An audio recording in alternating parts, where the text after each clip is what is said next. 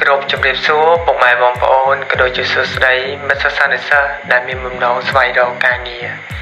ថ្ងៃនេះ admin សូមណែនាំនៅការងារផ្នែកខាងដឹកជញ្ជូនដែលទទួលបានប្រាក់ខែចាប់ពី180ដុល្លារលក្ខខណ្ឌការងារប្រើប្រាស់ម៉ូតូក្រុមហ៊ុនសាំង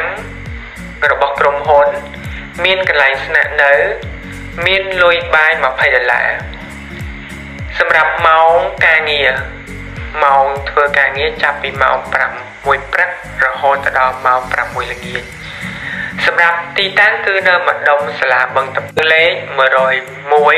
101ឬក៏ពុកម៉ែបងប្អូនអាចផ្ញើ CV បានតាមរយៈ Telegram លេខ081 45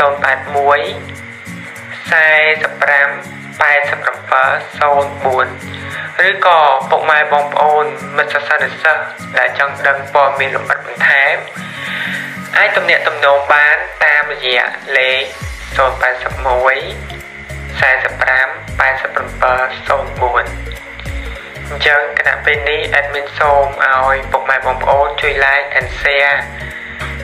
និង Subscribe ប្រភពនៃការងារដើម្បីទទួលបានឱកាសការងារថ្មីថ្មីមុនគេពី ខាង Channel ប្រភពនៃការងារដែលនឹងផុសជារៀងរាល់ថ្ងៃអញ្ចឹងគណៈពេលនេះ admin សូមអរគុណសូមគោរពលា